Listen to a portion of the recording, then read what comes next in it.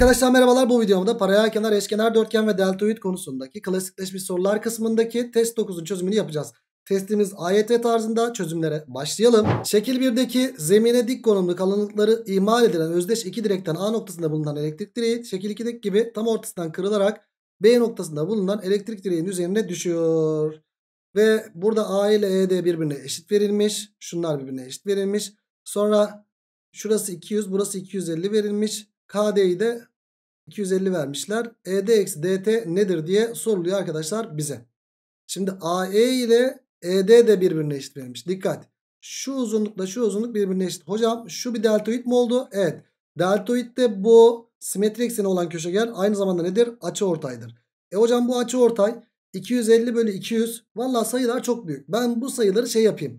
Mesela bu 50'nin katı ya. 50'ye bölsem burası kaç K yapıyor? 50'ye bölsek burası 5K yapıyor. Şuraya bir 5K diyelim. 50'ye bölsek burası da 4K yapıyor. E o zaman burada 5'e 4 oran var. O zaman burası nedir? 5x ise burası nedir? 4x diyebiliriz.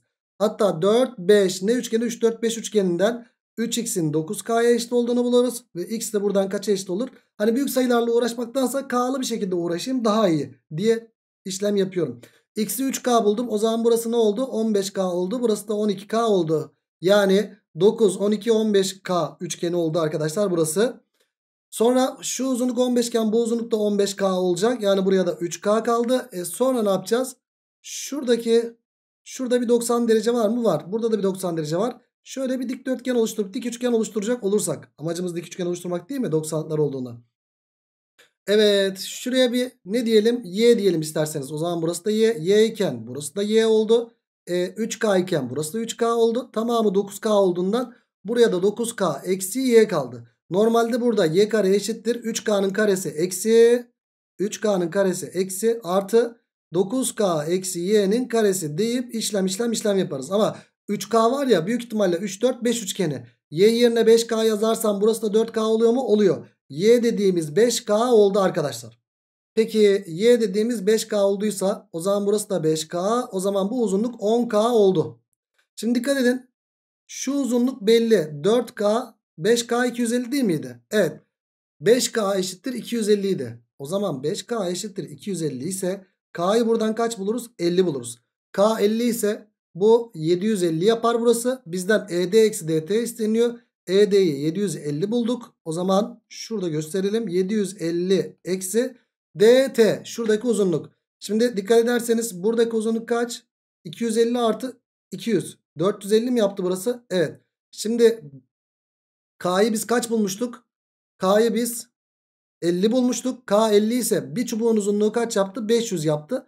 E hocam bunun tamamı 500 ise bu 450'si buraysa buraya ne kaldı o zaman? 50 mi kaldı? Evet. Bizden 750 eksi dt. dt uzunluğunda 50 bulduk. Cevabımız kaç yapar o zaman? 700 yapar. Yani büyük sayılarla uğraşmak istemedim. Sadece k dedim arkadaşlar. Ona göre işlem yaptık ve cevabı da güzel bir şekilde işlem kalabalığı olmadan bulduk sanki. Evet birinci soruyu böylelikle Ceyhan bulduk. Geldik 2'ye. Evet 2 kök 6 ve 5 verilmiş. Şununla da ikizkenar verilmiş. İkizkenarsa burada kaç çizgi ise burada kaçı da çizgi midir? Evet. Şöyle z'den dolayı burası da çizgidir. A A A B B diyecek olursak hatta diyelim A A B B diyecek olursak 2A artı 2B 180'e eşit. Buradan da A artı B'yi kaç buluruz? 90 buluruz. Madem A artı B'ye 90 bakın burası 90 oldu. Buradaki dik üçgenden x'in karesi neye eşittir? 5'in karesi artı 2 kök 6'nın karesine eşittir. Yani x'in karesi buradan 25 artı 24 yaptı. O da 49 yaptı. X'i de buradan kaç buluruz? 7 olarak buluruz. İkinci soru böylelikle Balıkesir çıktı. Geldik. Üçüncü soruya. ABCD eşkenar dörtgen demiş. G'de köşegenlerin kesim noktası olarak söylenmiş. Madem köşegenlerin kesim noktası o zaman ne yapalım? Bir köşegen çizelim arkadaşlar. Hangi köşegen çizmek mantıklı? Mesela şu köşegeni çizelim. E bu köşegeni çizdik. Şunlar birbirine eşit mi? Eşit. Diğer köşegeni de mi çizsek? Yok. Tamam. Şimdi ne yapabiliriz? Buradaki oranlamayı kullanmalıyız. Diğer köşegeni de çizebilirsiniz arkadaşlar aslında. Diğer köşegeni çizdiğiniz zaman yalnız bir işimize yarayacak mı? Hop bu da buraya gelecek. E hocam pek de bir işimize yaramıyor gibi. Dursun bakalım. Şuradaki oranlamayı kullanmaya çalışalım. Buradaki oranlamayı kullanmak isteyen arkadaş hocam şuradan şöyle şuna paralel çizeyim diyebilir. Ama ben buradan yapmayayım isterseniz. E bu G'ye kadar gelmiş ya devamını getireyim. Devamını getirdiğim zaman burada ne çıktı arkadaşlar? Bir kelebek mi çıktı? Evet. Dediğim gibi şuradan paralel çizerek de sonuca ulaşabilirdiniz. Hocam x ise burası da x mi oldu? Aynen öyle. Sonra başka bir şey var mı? Aa burada bak şunlar birbirine eşit. Hocam bunlar eşit. Burada da bir ortalama mı çıktı? Evet. X ise burası da x bölü 2'dir. Ve eşkenar dörtgenin bir kenarı 9. Yani burası da 9 olacak.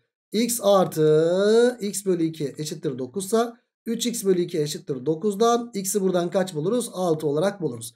Yani 3. sorunun cevabı denizli oldu. Geldik 4'e. ABC'de deltoid denmiş. Deltoid'de işimiz gücümüz nedir? Köşegen. Ama öncelikle şunu yazalım. Deltoid. Burası 6 iken burası da 6. Şu uzunlukla da şu uzunluk birbirine eşit mi? Eşit. Hemen köşegeni çizelim. Hop şu köşegeni çizdik. Köşegeni çizdiğimizde şu paralelliği biz kullanacağız ya. Bakın burada bir temel orantı çıktı. Şunun tamamının oranı 4 bölü 6. 4 bölü 6 dediğimiz nedir? 2 bölü 3'tür. Yani burası 2A iken burası nedir? 3A. E sonra burası 3A iken burası da nedir? 3A. Başka? Şu simetri ekseni olan köşegen. Simetri ekseni olan köşegende şunlar birbirine eşit değil mi? Bak paralellik ve açıortaylık aynı anda olduğunda Z'ye dikkat. Hocam burası da çizgi oldu. E o zaman burası da çizgi olduysa çizgiye çizgi ikiz kenar. Yani burası da 3A oldu. Toplamda 5A'yı adam bize 5 vermiş. A'yı da buradan 1 buluruz. A 1 ise burası 3 burası da 3 oldu. Çevre ABC'de 6 artı 6 artı 3 artı 3. Yani kaç çıkar arkadaşlar? Cevabımız 18 çıkar. Evet cevap böylelikle 4. soruda Akçay oldu. Geldik 5'e. ABC'de paralel kenar denmiş. Şurada eşitlik verilmiş. Hmm. Bu paralel kenar. Şimdi EBC doğrusal bu doğrusallığı kullanalım. Arkadaşlar şu doğrusal demiş bunu çizdim. Sonuçta paralel kenar olduğunda şunda şu paralel değil midir? Evet. Aa bak burada bir yamuk çıktı. Yamukta hatırlayın arkadaşlar. Yamukta neyi hatırlatayım? Şurada hatırlatayım isterseniz. Bir yamukta şöyle eşitlik gördüğünüzde bu alan tüm alanın yarısı değil miydi arkadaşlar? Evet. E, yan çevrilmiş yamuk bu alan yamuğun alanının yarısıdır. Peki adam bize neler vermiş? ADF'yi 7 vermiş. Hemen 7'yi kullanalım. Hocam burada kalan 7. Şurada bir paralel kenarı çizsem. Arkadaşlar şurası 7 ise şunlar birbirine eşitse bu 4'te 1 7 tüm paralel kenarın alanı çıkar. Ya da ispatlayalım isterseniz. 7 ise hop şunu çizdiğinizde burası da 7 mi? 7. 7 7 14 burası da 14 mi yaptı? Evet. Yani paralel kenarın alanı kaç yaptı arkadaşlar? 28 yaptı. Evet. Şuraya kadarki alan 28. Paralel kenarın alanı 28. Onu hemen göstereyim şöyle. Şöyle. Burası 28 oldu arkadaşlar. Sonra adam bize ABE'yi de demiş. ABE'yi de kaç demiş arkadaşlar? Burayı da 12 demiş. E tüm yamuğun alanı kaç yaptı arkadaşlar? Tüm yamuğun alanı 50, 40 mı yaptı? Evet. AFE'de ne olacak? Bu yamuğun alanının yarısı olduğundan dolayı eşit böldüğünden dolayı burası tüm alanın S bölü 2 yarısı olduğundan dolayı tüm alan nedir arkadaşlar? 40. Yani 28 artı 12'nin yarısı olacaktır. O zaman cevabımız 20 yapar arkadaşlar. Beşinci soru böylelikle Edremit oldu. Geldik altıncı soruya. Eşkenar dörtgen bir de kenar ortaylık var. Arkadaşlar köşegenler birbirini ortalıyordu ve dik kesiyordu. Bak kenar ortay kenar ortay. Burada ne çıktı arkadaşlar şu üçgende? Buradaki üçgende bir ağırlık merkezi çıktı. Paralel kenarda da biz bunu çok kullanıyoruz zaten. E o zaman burası 12,5 ise burası nedir? 25'tir. Değil mi? 12,5'un 2 katı 1'e 2 oran var.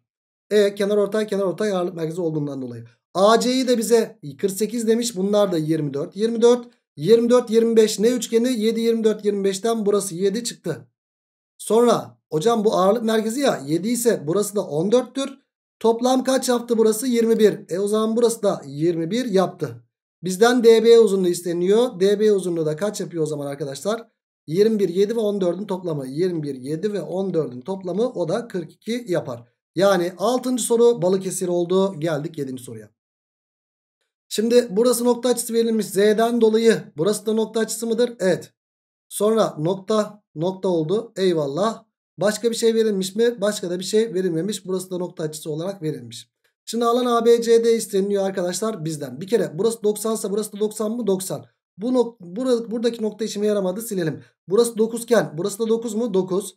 Hocam noktaya nokta üçgenler var. Şuraya alfa beta diyecek olursam. E burası da alfa iken burası da beta mı? Evet. Şu üçgenle şu üçgende oldu benzer. Şuraya bir h diyecek olursam benzerliği uygulayalım. Alfanın karşısı h'ın. Alfanın karşısı 4 oranı. Eşittir beta'nın karşısı 9'un. Beta'nın karşısı h'a oranı. Buradan h kare eşittir 36 geldi. H'ı da buradan kaç buluruz? 6 buluruz. H 6 ise alan ABCD isteniliyor. Alan da neye eşittir arkadaşlar? taban çarpı tabana ait yükseklik. Yani 9 çarpı alttan 54'e eşittir. Yani kaçıncı soru? 7. sorunun cevabı böylelikle denizli çıktı. Geldik 8'e. Oranlamalar verilmiş. Burası A iken burası 2A verilmiş. Hemen EC A iken BE uzunluğu 2A verilmiş. Şurası B iken FE uzunluğu B iken AF uzunluğu da 3B verilmiş. Arkadaşlar alan dağıtacağımız belli. Hemen alanı dağıtalım. Sonra burası 3A iken burası da 3A değil mi? Evet. Dikkat edin arkadaşlar. 3A'da kalan bilmem neyse A'da kalan da bilmem ne. Yani 3A'daki 3A ise A'da kalan da A'dır. 2A'da kalan da 2A'dır diyebiliriz. Paralel kenarda tersiz üçgenlerde bu şekilde yorum yapabiliyoruz.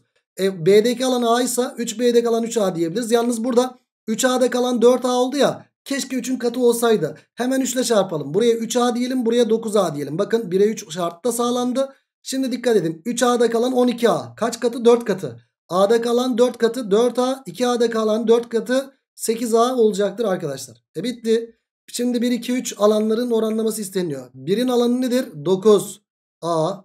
1'in alanı 9A. 2'nin alanı nedir? 7A. 3'ün alanı nedir? 8A. Yani 9, 7, 8 diye bir oranlama çıktı arkadaşlar. Cevabımız böylelikle Edremit oldu. Rasyonel sayıyla uğraşmamak için ne yaptık? Burada normalde A 3A'ydı ama 3'ün katını dağıtacağım için burada diğerlerini de direkt 3 ile çarptık. Daha rahat işlemimizi yaptık arkadaşlar. 8. soru Edremit oldu. Geldik 9'a. ABCD paralel kenar demiş. Bir de BF'nin alanını kaç vermiş? 60 vermiş. CBF üçgensel bölgenin ağırlık merkezi. Arkadaşlar bize şu üçgensel bölgenin ağırlık merkezini verdiyse ben bu ağırlık merkezini kullanacağım. E bu ağırlık merkezini nasıl kullanırım? Ağırlık merkezinden gelmiş. B'den ağırlık merkezine kadar gelmiş. E insan ne yapar? Devamını getirir. Devamını getirdiğimiz zaman bu kenar ortay mı oldu? Evet. Hatta burada 1'e 2 oran mı oldu? Aynen öyle. Şimdi BF'yi adam bize 60 mı vermiş? 60 vermiş. E hocam buradaki alan 60 ise o zaman iki eş parçaya bölündüğü için burası da 30 burası da 30'dur. E şurada da K'ya 2K'ya göre bir alan dağıtımı yapacak olursak K'ya 2K'ya göre hop K'da kalan A ise 2K'da kalan 2A mıdır? Evet. Bu çift çizgi kalan 30 iken çift çizgi kalan 30'du. Yani 3A eşittir 30 ise A'yı buradan 10 buluruz. E o zaman 2A kaç çıktı arkadaşlar? 20 çıktı. Alan ABCD isteniyor bizden. Arkadaşlar şu alanda tüm alanın nesidir? Yarısı değil midir? Çünkü bir paraya kenarda şu alan tüm alanın yarısıdır. E o zaman burası 20 iken tüm alan nedir? 20'nin iki katıdır. Yani cevabımız böylelikle 40 çıkar. 9. soru C an oldu. Geldik 10. soruya. ABCD bir paraya kenar verilmiş. BC ile CF birbirine eşit verilmiş. Şunlar birbirine eşit. Alan DEG'yi 4 vermişler. Sonra alan ABE'yi 21 vermişler. Arkadaşlar burası 21. Peki. Şimdi alan dağıtalım. Şurada oran yok. Şunu şöyle çizecek olursak. Hocam bu alan nedir? Tüm alanın yarısıdır. Geri kalanlar da tüm alanın yarısıdır. Yani ben buraya bir A diyecek olursam. A artı 4 artı 21'den bakın A artı 4 artı 21'den A artı 25 yaptı yarısı. E o zaman burası da A artı 25 yapmak zorunda. E şimdi şuraya bakacak olursak çift çizde kalan A artı 25 ise çift çizde kalan A artı 25'tir. Yani burası 25 mi oldu? Evet. Dikkat ederseniz burada bir 4'e 25 var. Dikkat bak burası 4. Hocam burada 4 alanında 25 alanı var. E şunlara bakacak olursanız bunlar birbirine paralel. E paralellikte kelebekte bir oran var burada. Kelebekteki oran kaça kaç? Alanlar oranı 4 bölü 25. Benzerlik alan ilişkisi. Benzerlik oranının karesi alanlar oranına eşit olduğundan. Alanlar oranının karekökü de benzerlik oranına eşit midir? Evet. Yani 2'ye 5 oran vardır. O zaman bu kelebekteki oran 2'ye 5. Yani burası 2K iken burası nedir? 5K'dır. E şimdi 2K'da kalan 4 ise 2 katı 2 katı A'yı da kaç buluruz arkadaşlar? 10 buluruz 2 katından dolayı. Bizden alan BEGC isteniyor. Madem A 10, A 10 ise burası da 35 yapar. Ve taralı alan isteniyor bizden. 10 ile 35'in toplamı isteniyor. O da o zaman cevabımız ne çıkacaktır? 45 çıkacaktır. Evet 10. sorunun cevabı böylelikle denizli çıktı. Geldik 11. soruya. Şimdi alanlar verilmiş. AEF'yi 4 vermiş. Bu alan 4. DEL'yi 6 vermiş. Sonra KFB'yi 5 vermiş.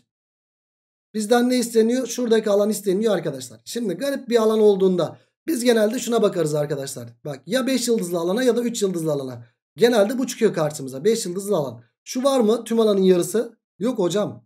Ya da neye bakarız arkadaşlar? Şöyle, şöyle, şöyle, şöyle. Bu alanlar toplamı da tüm alanın yarısı değil miydi? Hatta şu alanlar toplamı da tüm alanın yarısı değil miydi? Evet. Bu var mı diye bakalım arkadaşlar. Bakın şuraya bir A alanı, buraya bir B alanı diyecek olursam Hocam var tabii ki o. Bak şurada. Gördünüz mü? Sıkıştığınızda bunlara bakın. Yani paralel kenar alanının yarısı A artı A artı 6 A artı 6 ile B artı 4'ün toplamı değil midir? Evet. Sonra x'i de kullanacağız hocam biz. X'e bakacak olursanız da hocam şuradaki alan da yine aynı şekilde. Dikkat. Maviyle gösterdiğim yer bir de şu alan da yine aynı şekilde tüm alanın yarısı değil midir? Bak şuradaki gibi. Evet paralel kenar alanın yarısı aynı zamanda x artı a ile b artı 5'in toplamı. x artı a ile b artı 5'in toplamına eşittir. A'lar B'ler nanay oldu mu nanay oldu. 10 eşittir x artı 5'ten x'i de buradan kaç buluruz? 5 buluruz. İşte böyle çok karışık görülen sorularda buna dikkat edin arkadaşlar. Cevabımız böylelikle Edremit oldu. Ve böylelikle neyi bitirdik arkadaşlar? Böylelikle şu testi bitirdik. Testin adını unuttum ben ya. Test 9'u yani klasikleşmiş sorularda test 9'u bitirdik. O zaman ne diyoruz? Bir sonraki videoda ÖSYM tadında sorulara geçeceğiz. ÖSYM tadında sorular bir testinde görüşmek dileğiyle. Kendinize iyi bakın. Hoşçakalın.